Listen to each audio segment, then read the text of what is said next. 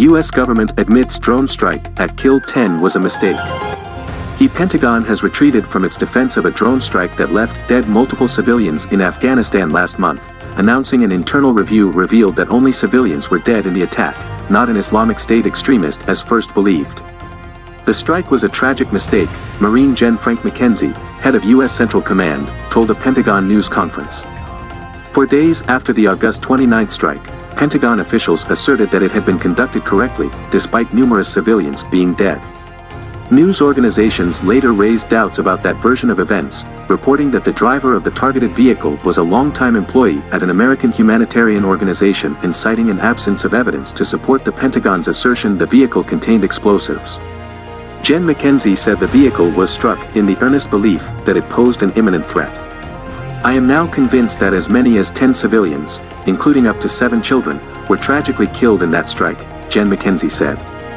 Moreover, we now assess that it is unlikely that the vehicle and those who died were associated with ISIS-K, or a direct threat to U.S. forces, he added, referring to the Islamic State Group's Afghanistan affiliate.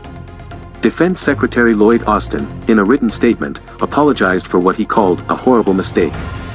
We now know that there was no connection between the driver of the vehicle and the Islamic State group, and that the driver's activities that day were completely harmless and not at all related to the imminent threat we believed we faced, Mr. Austin said.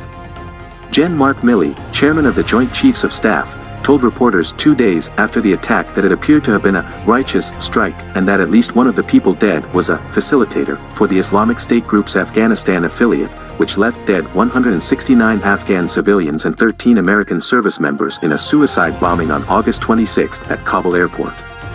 After Gen McKenzie's remarks, Gen Milley expressed regret. This is a horrible tragedy of war and it's heart-wrenching, Gen Milley told reporters traveling with him in Europe. We are committed to being fully transparent about this incident.